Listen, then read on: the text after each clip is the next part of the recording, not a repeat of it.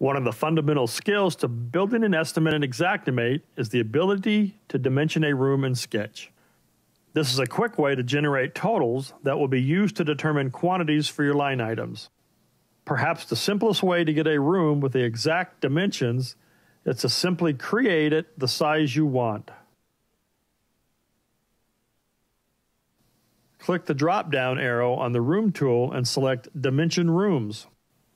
Type in the desired dimensions for the room, remembering to separate feet and inches with a comma. Click Insert Room to add it to the sketch. The room appears on the sketch.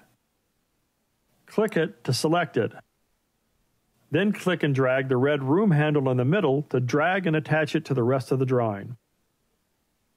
While this method is straightforward, it can be tricky to get the sketch to piece together properly and it isn't used as frequently.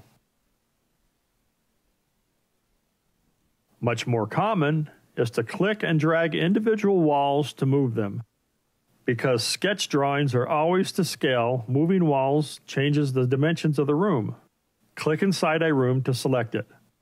When a room is selected, the floor is shaded blue and square wall handles appear in the middle of each wall segment. Click and drag on these handles to expand or shrink the size of the room. As you drag the wall, the affected measurements change in real time, making it clear when the wall is in the correct position for your desired dimensions. While clicking and dragging is effective, many users find it somewhat slow to get their mouse in exactly the right place for the dimensions they need. So a third way to dimension rooms is the best of both of the earlier ways. Click and drag individual walls for precision adjustments, but type for quick and accurate measurements.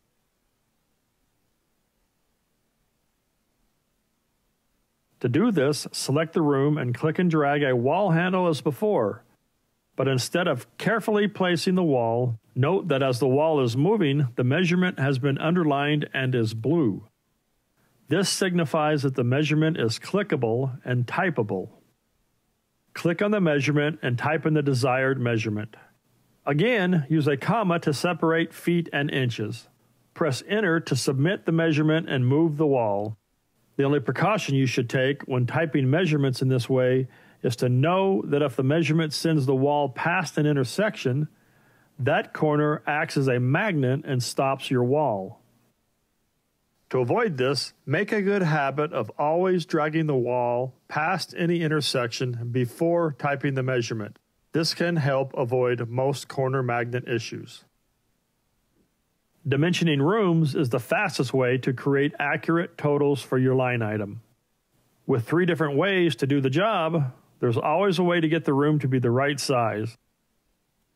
Fill out the survey below to let us know if there's anything you'd like to learn more about. And be sure to like this video and subscribe to our channel for more Xpert tips each week. Visit xactware.com forward slash training for additional training on Xactware products.